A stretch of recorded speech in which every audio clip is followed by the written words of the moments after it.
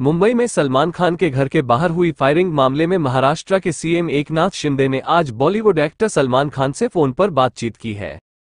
मुंबई के बांद्रा में अभिनेता सलमान खान के आवास के बाहर दो अज्ञात लोगों के गोलीबारी किए जाने के बाद महाराष्ट्र के मुख्यमंत्री एकनाथ शिंदे ने सलमान खान से टेलीफोन पर बातचीत की। मुख्यमंत्री एकनाथ शिंदे ने मुंबई पुलिस कमिश्नर से चर्चा की और सलमान खान की सुरक्षा बढ़ाने का सुझाव दिया। इस वक्त सलमान खान के घर के बाहर भारी पुलिस बल और फोरेंसिक टीम मौजूद है और जाँच जारी है। सलमान खान के घर के बाहर हुई गोलीबारी को लेकर विपक्ष ने राज्य की एकनाथ शिंदे सरकार को घेरा है। गोलीबारी पर सांसद संजय राउत से लेकर प्रियंका चतुर्दी और कांग्रेस की वर्षा गायकवाड़ ने सीएम शिंदे पर जमकर निशाना साधा है और कानून व्यवस्था को लेकर सवाल खड़े किए हैं। अट्ठावन वर्षीय सलमान खान संयुक्त परिवार के साथ रहते हैं।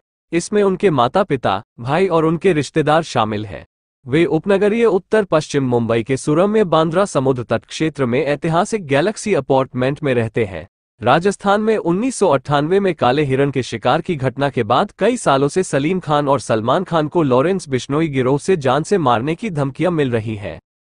2022 में, अपने घर के पास सुबह की सैर के दौरान, सलीम खान को एक नोट मिला। इसमें लिखा था सलीम खान, सलमान खान बहुत जल्दी आपका मूसेवाला जैसा हाल होगा।